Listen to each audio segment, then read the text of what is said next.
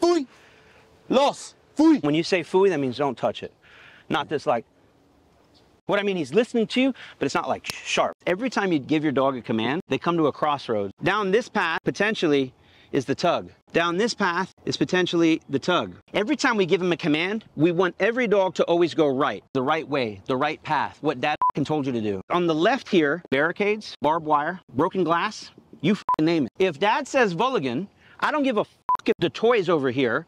You cannot go through there. The more he goes through, next thing you know, both paths are open. And so when you give him a command, he's like, well, I could either listen and there's a maybe, but this is a sure thing. It's right there. I'm looking at it. That toy that's sitting there, you have it other outside of when I say you can have it, that'll bite you back. Once he understands going left is always a loss, he'll stop going left, man. He'll only go right.